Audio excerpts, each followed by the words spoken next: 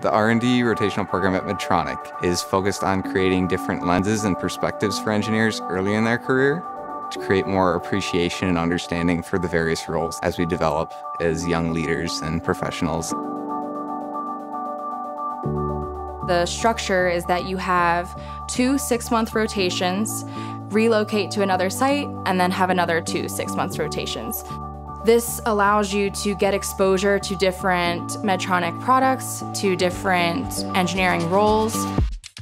Every single role that I've had within Medtronic has been very specifically catered towards my interest. We can switch between any different technical role, mechanical, software, no matter what you majored in, you're open to explore anything that sounds interesting to you.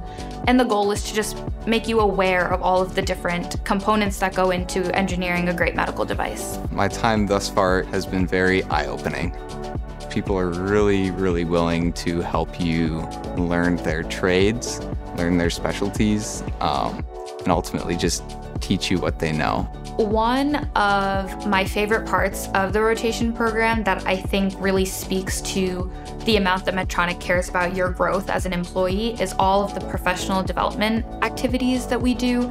We're really exposed to different opportunities to just better ourselves in general as engineers, as leaders, and working in a business. The biggest thing that I've seen at Medtronic is the opportunity to make an impact. In my current role in systems engineering, I have had the opportunity to go to hospitals on field investigations and seeing patients. It, it's life changing. It really puts in perspective the work that we do on a daily basis. Initially, coming from school, you don't know exactly what to expect when you first start a job. And I found that test engineering in the project that I was working on was contributing to the development of a product that would change somebody's life. So, in the work that I do, I definitely feel connected to patients. We always say that we don't want anyone to ever need our products, but we make them because people do need them. We work for our patients.